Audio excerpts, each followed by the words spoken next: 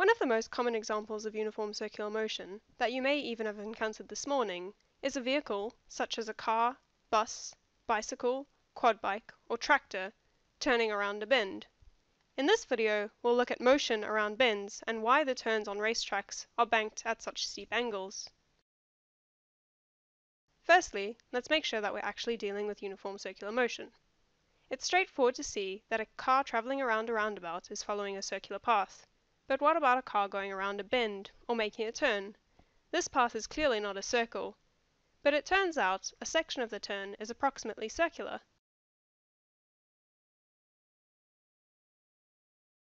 So, if the car is going at a constant speed, then we can analyze this part of the turn.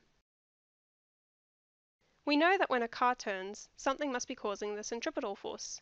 That something is the friction between the tires and the road. The same force that keeps you from pushing a car sideways allows cars to turn around bends. Now at some point, friction won't be strong enough to oppose the applied force, and the car will start sliding. This occurs at the maximum friction force. The maximum friction force dictates the fastest speed a car can travel around a bend. In this example, we'll call the friction force F subscript F. We know that the car experiences a centripetal force, so F subscript C is equal to the mass times the velocity squared divided by the radius. And this centripetal force is provided by friction. So the centripetal force is equal to the friction force. Therefore the speed is equal to the square root of the friction force times the radius divided by the mass of the vehicle. But we also know that we can write friction in terms of the normal force and the coefficient of friction. So we know that the friction force is equal to the coefficient of friction, or mu, times the normal force. Since the car is not accelerating vertically up into the air, or down into the ground, the net vertical force is zero. So vertical forces must balance. This means that the normal force is equal to the weight, on flat ground at least. Rearranging these equations,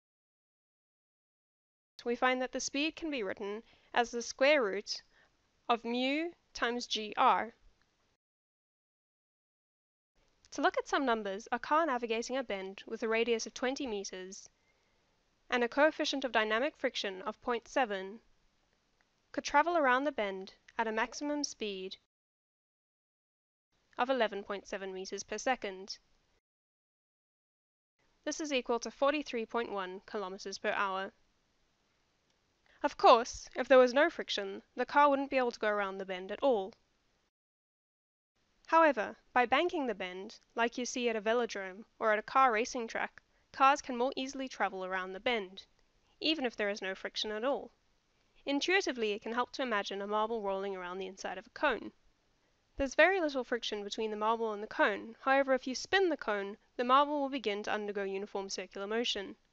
To see this, let's look at a very simple model a car sliding around a banked track with no friction. Firstly, how do we know when we can use our understanding of uniform circular motion to understand a banked track?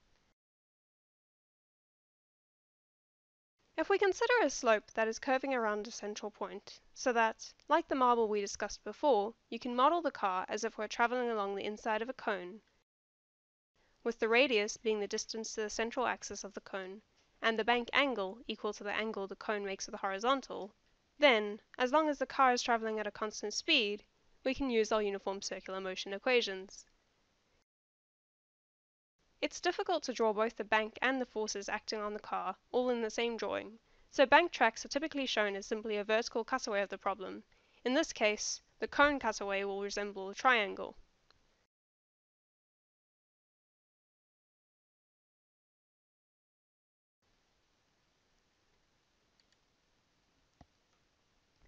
So what forces are acting on the car? Well, there's gravity pointing downwards, of course, and there will be a normal force applied by the track on the car. This normal force points perpendicularly to the surface, like any normal force. Since there's no friction, that's it, those are all the forces acting on the car. As the car is following a circular path, there must be a force pointing radially inwards. Looking at our free body diagram of the car, the centripetal force responsible for uniform circular motion must come from the horizontal component of the normal force, so that's what we need to find. Let's start with what we know.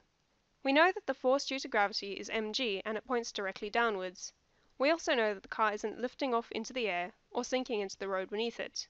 That is, the vertical forces must balance. To get the vertical component of the normal force, we can draw out a vector triangle, showing both the vertical component and the horizontal component, which together add up to the total normal force. The angle between the normal force and the vertical is theta, the same as the angle of the banked track. This can be shown using geometry. This means that the vertical component of the vertical force is equal to the normal force multiplied by cos theta, and the horizontal component that points radially inwards is equal to the normal force times sine theta. To get the horizontal component of force, we need to calculate the normal force, and we can do this by balancing the vertical forces acting on the car. As there is no net vertical acceleration, we know that the gravitational force is equal to the normal force times cos theta, and therefore the normal force is equal to mg divided by cos theta. Now let's look at the horizontal components. We know as the car is undergoing uniform circular motion that the centripetal force is equal to the horizontal component of the normal force. Calculating, we find that the centripetal force is equal to mg sine theta divided by cos theta, which is equal to mg times tan of theta. If we want to find the velocity of the car, we can plug in our uniform circular motion equation, and find that the velocity is equal to the square root of rg tan theta. Let's plug in some values.